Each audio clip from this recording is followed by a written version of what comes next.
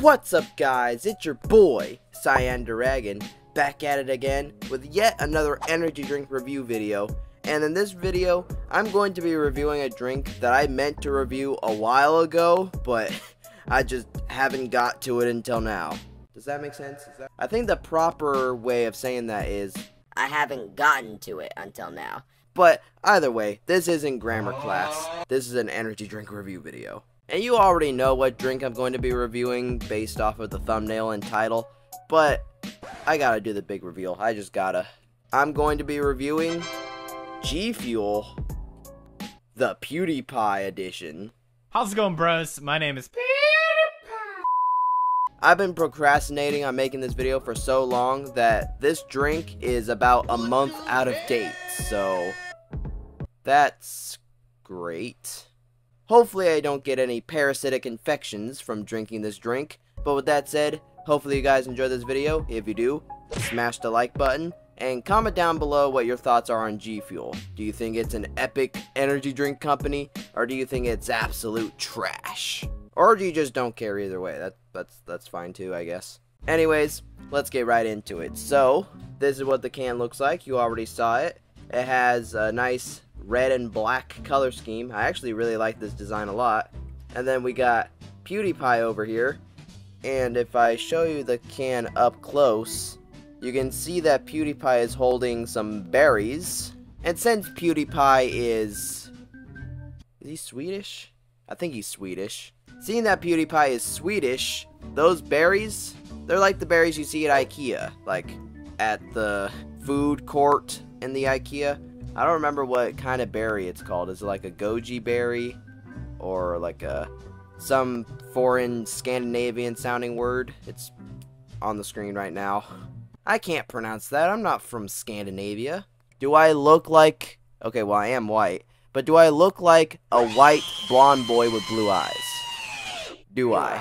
Are my eyes blue? No, they're the color of shit.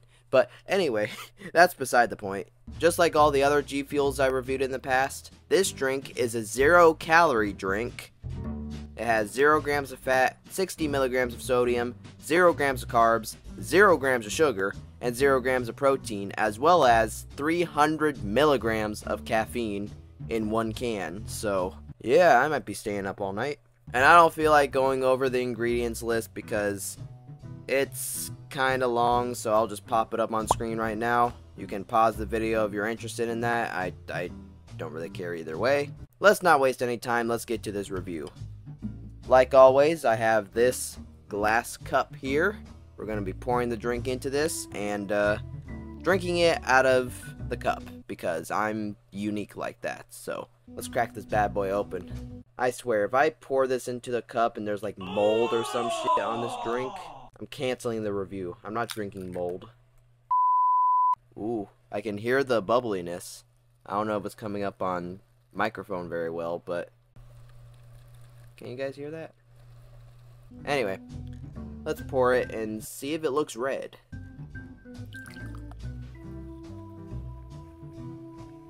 Okay.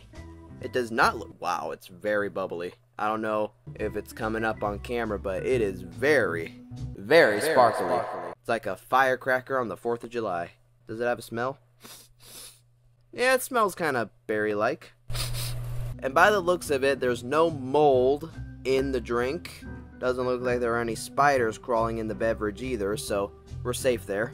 If you guys have seen my other energy drink review videos in the past, you would know that I am not really a fan of these zero sugar, zero calorie drinks, but who knows? Maybe this one might be a game changer. Let's see. G Fuel PewDiePie Edition down the hatch.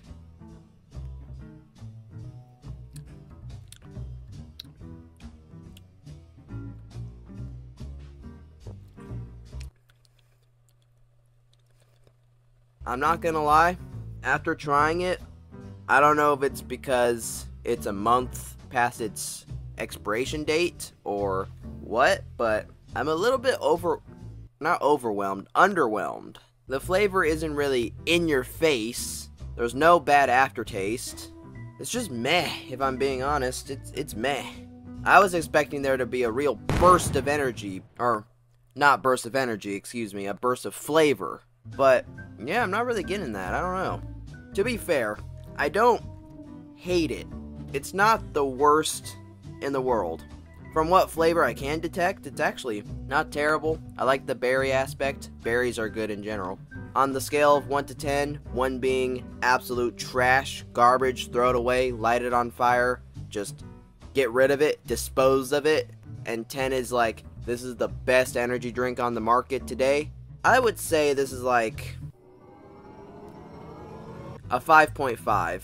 Not exactly in the middle, a little bit better, but yeah, I'm just not, I'm just not feeling it. I don't know. Maybe I should have tried this before, like, it expired, but I don't know. Maybe I should do a follow-up video in a few weeks or months retrying this drink. I mean, it says on the can that it's a limited edition. I don't know how well that comes up on camera, but I've seen it in stores, and I've gotten this like over a year ago at this point, I think.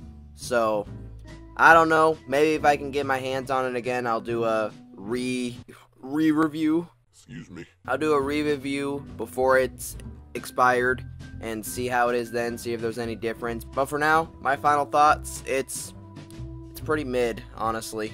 Sorry, PewDiePie, but your your drink, it's it's not all it's cracked up to be.